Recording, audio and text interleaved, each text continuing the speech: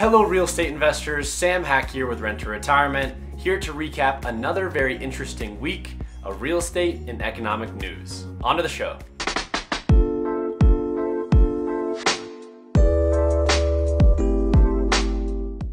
First up in big time real estate news, Evergrande, a giant Chinese real estate company, is currently $300 billion in debt and is close to defaulting on its loans. This week, Evergrande was able to make an interest payment on one of its issued bonds, however, they have tons more looming debt coming due soon.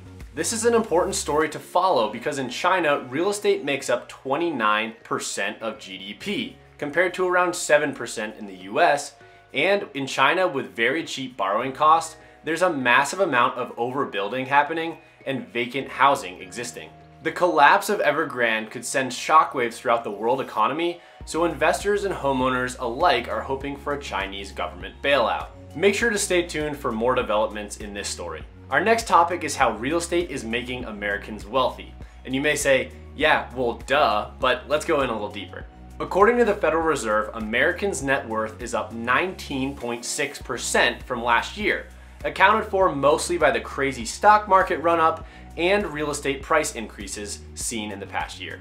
Both home equity and household debt increased this past year, with average home equity up to almost 68% in April, the highest level since the 2008 financial crisis. These two metrics reflect the fact that rapid appreciation has increased home equity and a higher borrowing rate is now needed to buy a home. Let's touch on new real estate legislation. The budget reconciliation bill that we've talked about in the last few weeks is now in the House Budget Committee and is being reviewed. Some of the interesting new changes in the proposed bill are individual retirement accounts can no longer invest in syndications that are considered securities. IRAs currently holding investments of this type will have to exit these investments by the end of 2023. The bill also includes some new restrictions on the use of conservation easements and when and when they cannot be used. The IRS is being allocated an additional $80 billion to increase auditing ability, so make sure you're crossing your T's and dotting your I's in your books.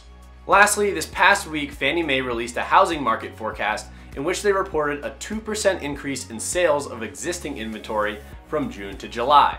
However, Fannie Mae is suggesting that things may cool off a bit with current listings at an all-time low and buyers feeling a little priced out of the market at current prices. In economic indicators this week, the latest data that we have from the Bureau of Labor Statistics suggests the US unemployment rate is still at 5.2%. Our average days on market for US listings according to Realtor.com is 39 days. The median home price is $380,000. The average rent for a one bedroom apartment according to apartmentguide.com is $1,636 a month. Our average interest rates for primary residences with ideal credit for 30-year fixed rate mortgages is at 3%, and for 15-year fixed rate mortgages, we're at 2.23%. As for investment properties, we're barely peaking over 4% for borrowers with ideal credit and a 20% down payment. I hope you feel a little more updated on the real estate market after this video, both on a global and local scale. Obviously, you can tell that real estate impacts a lot, so it's important to stay educated. You can continue to educate yourself here at Rent to Retirement or even invest with us by getting in touch with one of our investment counselors using the link in the description below. Give us a shout on any of our social media accounts or my own accounts at Sam H Real Estate. We'd love to interact with you and answer any questions you might have. This has been Sam Hack for Rent to Retirement, and I'll see you all next week.